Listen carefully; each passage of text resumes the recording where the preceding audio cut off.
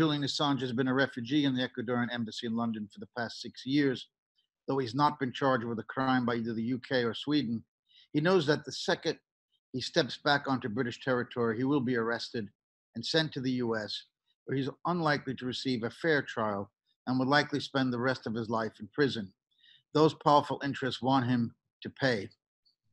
It is a historic test of press freedom. The corporate media, which once profited from him, has now abandoned Julian Assange, and they could face the same threat to their freedom to publish classified information were he to be arrested. Cohen said, quote, as I earlier stated, Mr. Trump knew from Roger Stone in advance about the WikiLeaks drop of emails. In July 2016, days before the Democratic convention, I was in Mr. Trump's office when his secretary announced that Roger Stone was on the phone. Mr. Trump puts Mr. Stone on the speakerphone. Mr. Stone told Mr. Trump that he had just gotten off the phone with Julian Assange and that Mr. Assange told Mr. Stone that within a couple of days, there would be a massive dump of emails that would damage Hillary Clinton's campaign. Mr. Trump responded by stating to the effect of, quote, wouldn't that be great? During the questioning in uh, Cohen's testimony, Representative Thomas Massie and Cohen had this exchange that I think is extremely revealing and should end this matter right there. Uh, Representative Massie said, "You, uh, you said, and this is also in your testimony, in the days before the Democratic convention, you became privy to a conversation that some of Hillary Clinton emails would be leaked. Is that correct?" Cohen said, "Correct." Massie, okay, was that in, uh, you said late July. Do you know the exact day? Cohen, I believe it was either the 18th or the 19th, and I would guess that it would be the 19th. Representative Massie, but it was definitely July. Cohen, I believe so, yes. Representative Massie, do you know that was public knowledge in June? This was Mr. Assange, and I'd like to submit this, unanimous consent, to submit this for the record. The chairman says, Chairman Cummings, without objection, so ordered. Massie says, Mr. Assange reported to the media on June 12th that those emails would be leaked. So I'm not saying you have fake news, he's telling Cohen. I'm saying you have old news, and there's really not much to that. Uh, there shouldn't be much to that. This should have made it an open and shut case that there was indeed no so called collusion between a member of Trump's campaign, Roger Stone, and WikiLeaks. First of all, WikiLeaks strongly denies that uh, Julian Assange ever had a phone conversation with Stone. On February 27, just three days ago, WikiLeaks put out a statement on Michael Cohen's testimony to Congress. It says WikiLeaks publisher Julian Assange has never had a telephone call with Roger Stone was only a matter of knowing in advance, which has been elevated to a crime, knowing something in advance when the whole world knew it in advance as well. Craig Murray, who we've had on this show, the former British ambassador to Uzbekistan and an associate of Assange, and WikiLeaks said uh, in a tweet on February 27, quote, anybody who believes that Julian Assange was able to phone Roger Stone from inside the Ecuadorian embassy with neither the GCHQ, NSA, CIA, MI5, or FBI intercepting the call is severely diluted. The combined budget of those agencies is 41 billion US dollars. Michael Cohen's testimony is obviously nonsense. Well, I, I mean, my first takeaway is that Cohen, under highly leading questions from Debbie Wasserman Schultz, he did concede that he had no evidence of collusion, and uh, I think that is a you know very important takeaway uh, from his public testimony. The other piece that is uh, curious to me is that he claims that he was in Trump's office when Trump took a call on his speakerphone from Roger Stone who then said, I just got off the phone with Julian Assange. Now, from all other available evidence, Roger Stone disclaims having ever uh, directly been in contact with Julian. But there are many ways I can explain uh, what Cohen says he overheard, and that is that, you know, Roger Stone was uh, pandering to Trump trying to inflate his own importance and value. And what's kind of funny about all this is that it was a Republican who waved a copy of an article from The Guardian showing that Julian had announced in June that he had Clinton emails and would be releasing them. So, you know, Wasserman Schultz was focused on uh, Cohen with dates around the Republican convention, which were in mid July of 2016. And so this would be, if, if Cohen got it right, uh, Roger Stone phoning Donald Trump to tell him something that we all already knew. We also knew in March that they had emails that uh, that they pl- that they released and that they had information about uh, Hillary Clinton, and I remember hearing about that. So the the voluntary amnesia of the press is definitely astounding for sure. Just to add on well, to what you said, there is also intentional conflation because we have to separate which batch of emails we're talking about. Uh, Hillary Clinton's personal emails from the server that she delivered to the State Department in the most inconvenient form for them to process. Uh, in other words, they printed out emails, delivered hard copies to the State Department that then had to rescan all of those emails in order to put them into a digital form. And that whole process uh, was under the guidance of a federal court prompted by Jason Leopold and his Freedom of Information Act uh, filings that were uh, enhanced with lawsuits. And so a- as we look back, it's very easy for people to uh, conflate these different sets of emails. And fundamentally, we still have no public evidence of how WikiLeaks received these emails and from whom. And yet the corporate media treats as fact the assessment of the intelligence communities that it was Russian hackers who got it from the DNC and gave it to WikiLeaks. And of course, I uh, I've been talking to Bill Binney uh, since uh, these the, since the hacking was originally revealed, and he uh, is a highly credible source with some evidence. I want to be clear. Uh, he has some evidence to support his conspiracy theory, which of course conflicts with the official conspiracy theory, which we're all supposed to just fall in line and believe. And so when we look at the false reporting, such as the claim that Manafort met with Assange at the Embassy of Ecuador, uh, it's a free for all. And in the corporate media, unless you're BuzzFeed, uh, there are no demerits uh, for reporting uh, false leads and false stories. And, and so I, I remain uh, where I've been for several years, and that is that Mueller has uncovered uh, what I consider to be many levels of corruption.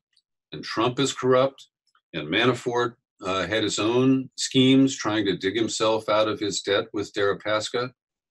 The false reporting that Manafort was guiding Yanukovych toward Moscow and not toward Europe and uh, NATO and the United States is a fundamental, uh, not error, it is a, an intentional misleading claim uh, that, again, lumped together with all this other stuff, leaves the average consumer of news in the United States pretty confused and willing to just accept what the uh, the consensus views are. And this leaves us, you know, once again, uh, very much untethered to facts, untethered to rational thinking, and subject to the clear uh, manipulation that began with scriptwriters in the office of the Director of National Intelligence. You mentioned Debbie Wasserman Schultz, Peter, uh, talking about the the email release and the Democratic convention. I mean, she's quite a little bit self-interested in the fact that she was forced to resign as the chairperson of the Democratic National Committee, specifically because of what was revealed in the WikiLeaks uh, dump of emails by Hillary Clinton. Um, But I want to ask you this question uh, based on your knowledge of the US law and statutes. You, can you give us a statute that makes knowing in advance a crime? Because that's what they seem to be accusing Cohen and Trump of, that they knew, and, and we know now that they did not know in advance because the whole public knew in advance. It's WikiLeaks. But they seem to be saying, you knew in advance that these videos were coming out. This is the collusion. Absolutely absurd. They never got the actual emails either. They were just told they were coming out, if that's true. And I think you're right. Stone probably just made that up to make himself look more important. You know, we've we've got a media circus. We have media malpractice where uh, you know anonymous sources and unseen evidence are used to promote these narratives. And you know, we still see people like Adam Schiff, the Democrat now controlling the House Intelligence Committee, who continues to stoke the idea that Mueller's going to, you know, be pulling the pin on a really big grenade. And uh, I, I just think that it's going to be a whimper and that anything that is really uh, important in Mueller's report will be at least filtered, if not completely blacked out, by the new attorney, attorney general Barr. They got enough to get him. You say, and you, as you point out, they don't want to impeach him, probably for political reasons. They think they could beat him, but they thought that the last time. Why do they need to drag Russia into this? Well, the and WikiLeaks and WikiLeaks, of course. I got an idea why. I wonder well, what you think. Well, first of all, we we have to look at um, who dragged Russia into it. It was Podesta, and there is one of the emails that was of Podesta's that was released is from December of 2015. And it's an exchange with a guy I know named Brent Budowsky. He suggested to Podesta that, you know, if things went south, they could always blame it on Russia.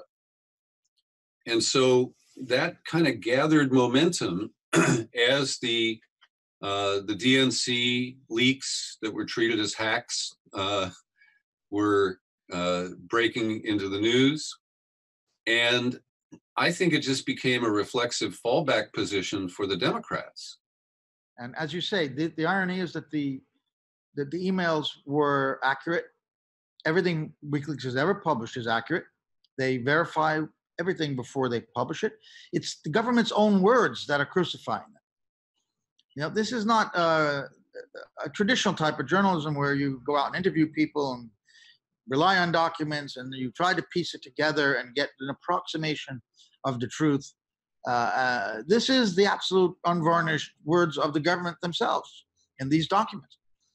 So why it's so extraordinary that we could read their own words about what they've done, uh, what they're doing, and that's why they want to stop Assange, obviously, because and WikiLeaks because they cannot get. It's harder for them to get away with this stuff, except that the media has now turned on Assange and WikiLeaks because they are. Uh, he exposed Hillary Clinton, and the contents of those emails are forgotten and are buried in all of this. It was well, I lost the election, and let's not talk about what those emails said. The whole thing was about Russia from the beginning because that's the great scapegoat of the United States during the first and second Cold Wars.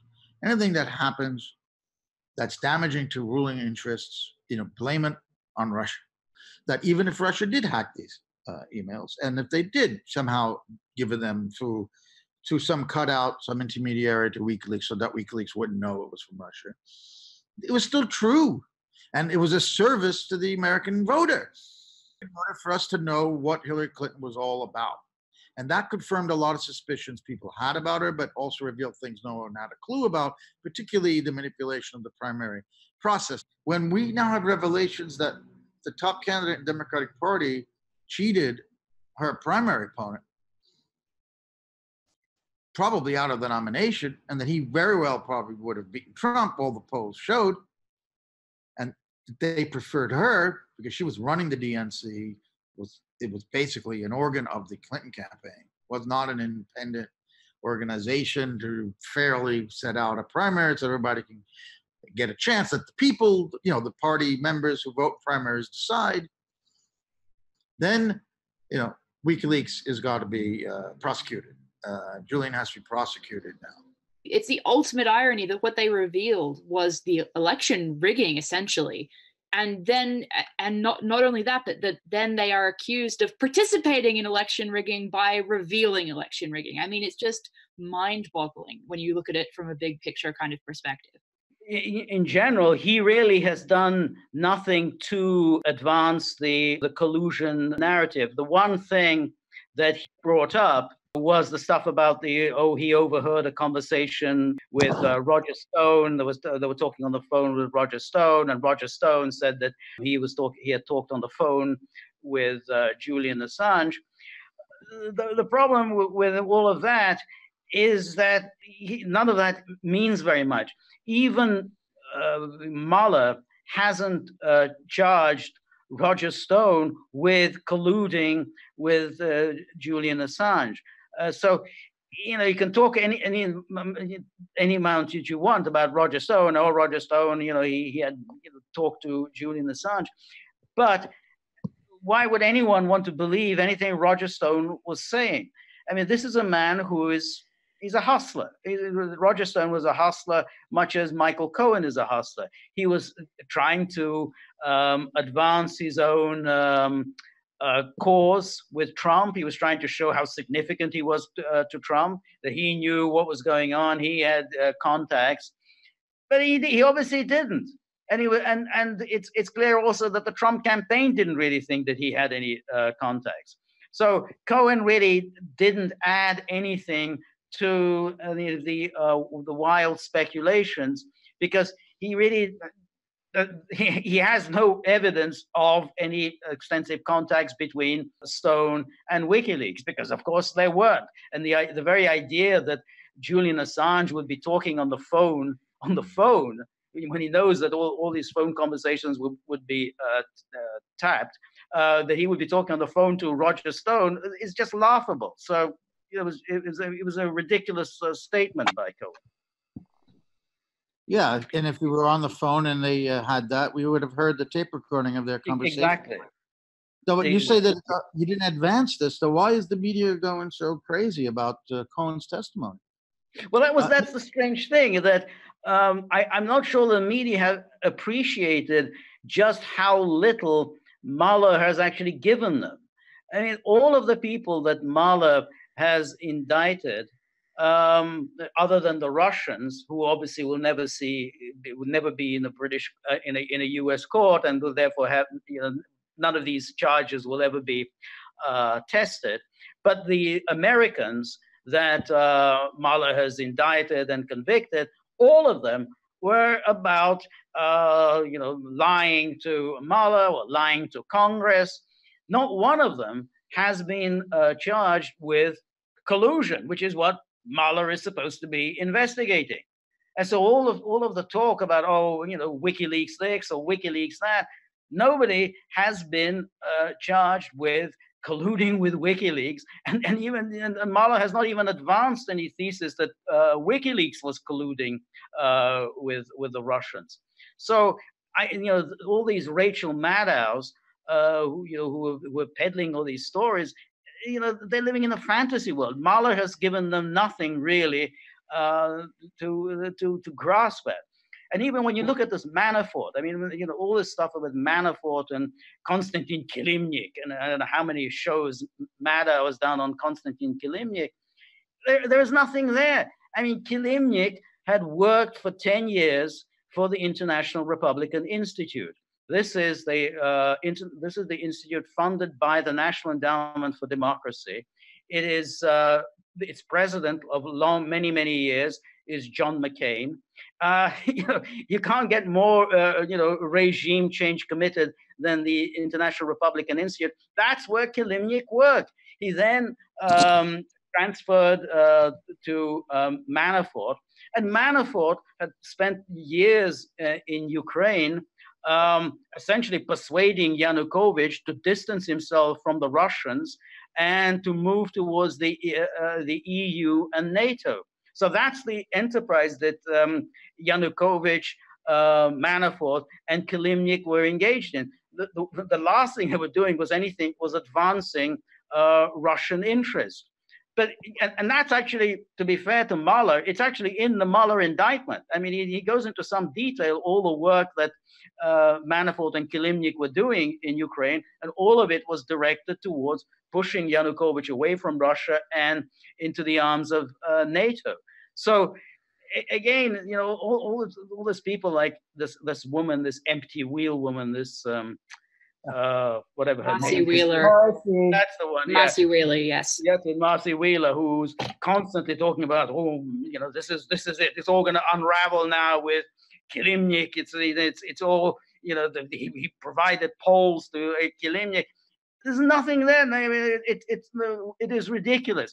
There's no evidence that Kilimnik um, was working for the Russian government, and even um, the judge, the judge was very unsympathetic to um, Manafort, had uh, said that I don't know whether Kilimnik was working for the Russians. You know, that's what the FBI claims, but uh, you know, I, have seen no evidence of this. So again, you know, so you know, even this the judge uh, was who's very unsympathetic to uh, uh, Manafort and and contrarily sympathetic to Mueller, says, I don't know who Kilimnik was working for.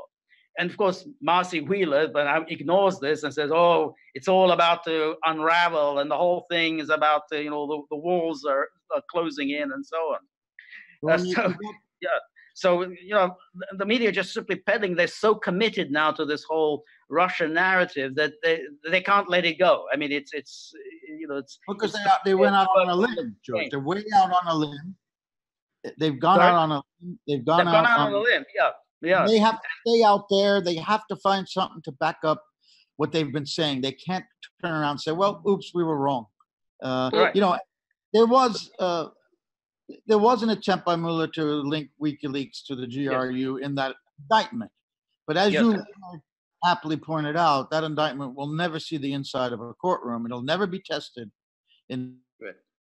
No, no anyway, yeah. agents exactly. won't be arrested. And I think and that therefore was, you can put whatever you want into indictment. That's right. And and and, and when the problem is the media says that it's a conviction. They don't see it as a an alleged that's right.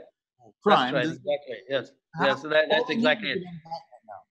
And that's why the media often say things like, oh, Mueller has uh, convicted 38 people. So, well, actually, um, 26 of them have simply been indicted. Uh, so we know nothing about these Russians that, you know, he, he comes up with a whole bunch of Russian names. We know nothing about them. I mean, so we have no idea what they were doing, uh, who they are, even whether they exist, because there's, there's no real confirmation that any of these people actually exist. I mean, you know, he might have just simply pulled a few uh, Russian names out of the, um, uh, the Moscow telephone directory. I mean, you know, who knows? Um, and so when Putin said, okay, you know, if you want us to cooperate with you, um, we'd like some cooperation with you. You know, how about some help on the um, uh, the Bill Browder case? You know, we, you know, maybe you know, if you give us some help on that, we might give you some help on this. Uh, the whole American political establishment was aghast. No, we can't. We're no, we can't possibly cooperate with you on on Browder or on anything. Well, that's it. That that's the end of that. You know, Russians will give no no cooperation, and so none of this will ever uh, be in uh, in any uh, court of law. So Mueller can just accuse anyone of anything. This will be, it will never see the light of day. And he and knows we, very well how the media is going to play it. Yes. Mm-hmm. And we yeah. do have people like I believe it was Peter Daou recently in the wake of that uh, Senate Intelligence Committee uh, bipartisan inquiry, basically saying to date we do not have any evidence of Trump Russian collusion um, you know, in the wake of that, you have people like Peter Daou saying, I was skeptical of Mueller's investigation from the beginning. And you have just now, actually, um, Renato Mariotti, who is a CNN legal analyst, saying, quote, Mueller's report will almost certainly disappoint you. And it's not his fault. It's your fault for buying into Trump's false narrative that it's Mueller's job to prove collusion, a nearly yeah. impossible bar to, for any prosecutor to clear. So you have these these CNN uh, analysts yeah. walking back their uh, back off the limb. Exactly. off the limb they've been exactly. hanging off.